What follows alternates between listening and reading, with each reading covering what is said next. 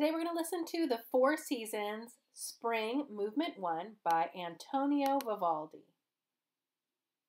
About the composer. Antonio Vivaldi was a Baroque composer who was born on March 4, 1678 in Venice, Italy. Vivaldi was called the Red Priest because he had fiery red hair and was a priest as well as a composer. His portrait shows him in a white powdered wig. he worked as a priest and violin teacher at a girls' orphanage in Venice. Vivaldi was well known was a well-known solo violinist and wrote pieces that showcased his dazzling skills. He traveled throughout Europe writing for various groups and nobility. In this way, Vivaldi helped the musical community share new ideas from country to country. About the music. The Four Seasons was written around 1725. It is a set of four concertos for solo violin and string orchestra. It is an early example of program music. Each concerto portrays a season of the year.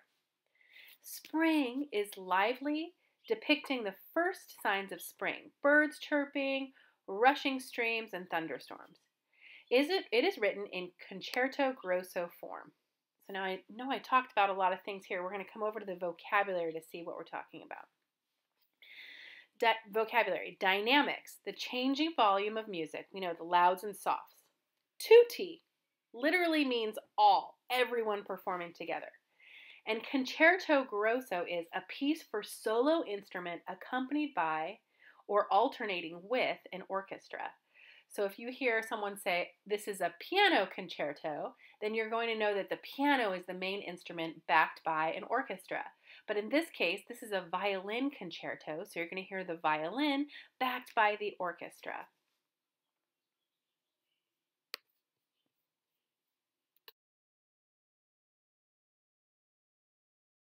The Four Seasons, Spring, Movement 1, by Vivaldi.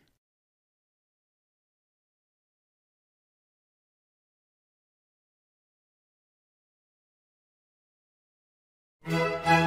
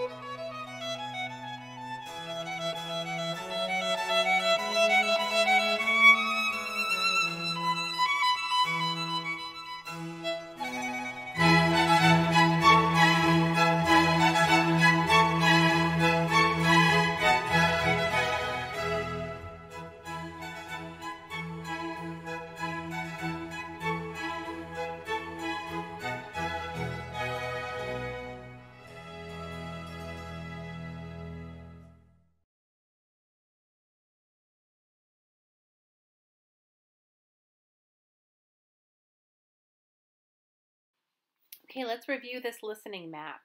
We have we have different sections going on. We have the S, the P, the R, the I, the N, and the G, all spelling spring.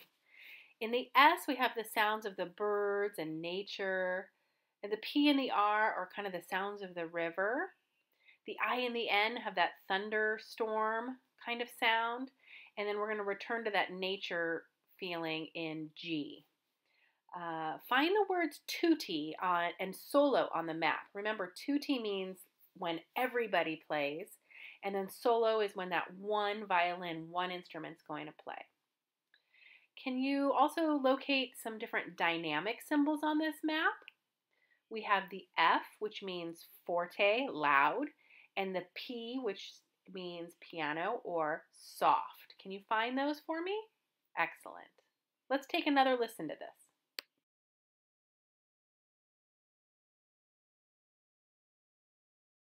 The Four Seasons, Spring, Movement 1, by Vivaldi.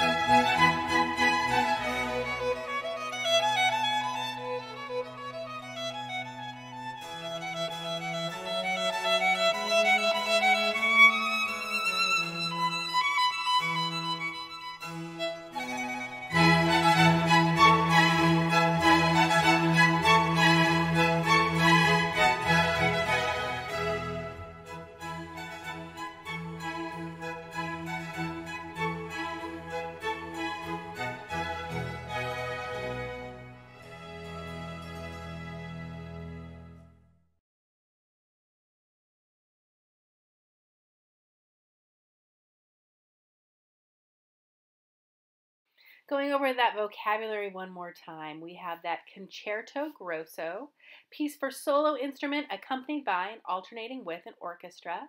We've got those dynamics, the volumes of the music. Programmatic music depicts a specific mood, picture, or story, in this case, the seasons, and specifically spring. We have the string instrument family. Um, strings are bowed, plucked, or strummed um, to change the pitch, mostly with the fingers changing the length of that vibrating string. And tutti means all, so meaning a section where everybody plays together.